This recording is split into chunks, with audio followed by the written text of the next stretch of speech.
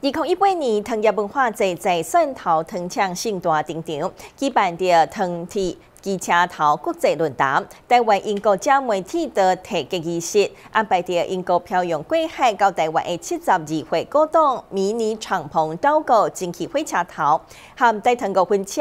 点马机车头，佮有六五空号蒸汽机车头共带来亮相，互相辉映，现场佮有英国美食家的华含街头艺人表演。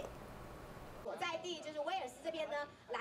一九四六年，由苏格兰安德鲁巴克莱公司建造，第一间煤气工厂运输，长、宽、悬各四百三十基、一百四十六以及一百八十基点五 A 式设计，甲原先采受力马匹白悬，因为伊必须爱伫空间有限的整料房弄来弄去，造就伊迷你的身形。特别的是，伊伫一九六九年由 WNLLR 收购转为观光用途。特别注意运行的轨迹，甲英国威尔斯铁道无共，所甲大唐国军啊车共款是七百六十几毫米，形成风格特殊的工艺精品。好，那个，我想这次这个活动哈，其实背后最重要的就是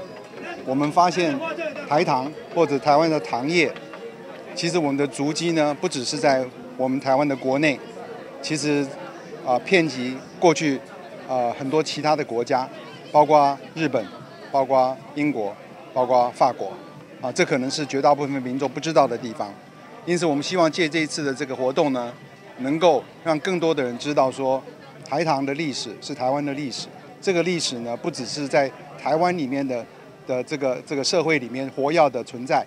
而且也遍布在世界很多大的国家里面。伫汕头糖厂举办糖铁机车头国际论坛，邀请英国、法国、日本等拥有大糖火车头业者以及铁道专家分享在轨铁道的经营以及未来发展。大英铁道文化交流以及嘉年华活动接力登场，到时阵。德国经汽火车头，将甲大唐的电马机车头以及六五孔蒸汽机车头互相辉映。最后十五至十六号，伫河北糖厂举办祭糖庆典，大唐拖开处长张英杰等人特别到顺糖糖厂厂区工厂村配灵宫拜拜，祈求马祖保庇活动平安顺利。新新闻中台新立卡乡采访报道。